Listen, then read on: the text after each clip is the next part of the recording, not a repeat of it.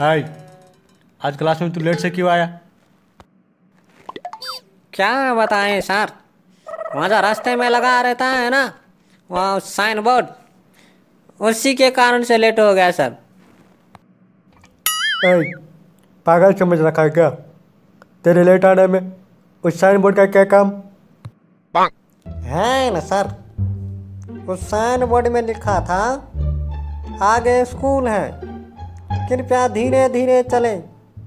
इसीलिए मैं धीरे धीरे आ रहा था। इसीलिए लेट हो गया।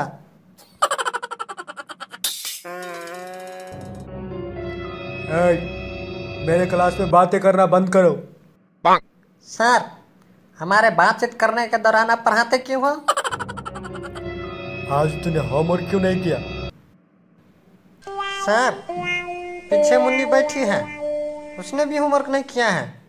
हम दोनों को टॉयलेट में बंद कर दीजिए। कभी तो मेरे दिल में आ जाना। कभी चाँद खिले